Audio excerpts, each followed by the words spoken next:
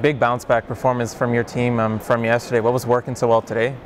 Well, we, our service reception was, was very good today and uh, um, didn't face as much pressure as we did last night from uh, the Alberta serves, and that managed us, uh, allowed us to handle them a lot better. And uh, if we do that, we, we're allowed to run our offense. Now, was it just me or did the team seem a little more relaxed and a little more confident today? Uh, I would agree 100%. I thought we looked a lot more relaxed out there, and uh, and when you're when you're tense, I guess we you know we showed we didn't play so well last night, and uh, we certainly played a lot better under relaxed conditions. Is that the type of game that you kind of expect from Ken Rooney now?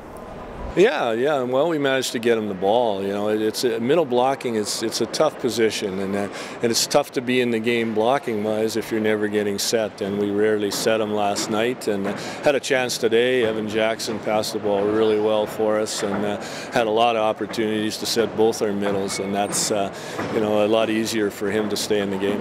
Any changes you think you're going to make for tomorrow against Laval in the consolation final? No, not, not at all. No, no. We expect a tough match out of, out of Laval. They're, they're a great team and a great volleyball program, and uh, we know that they're going to come to come to play hard. And uh, and uh, I like like our chances a little bit more. Didn't know what to expect today, but I, I, I think uh, a little more confident in how we'll show up tomorrow.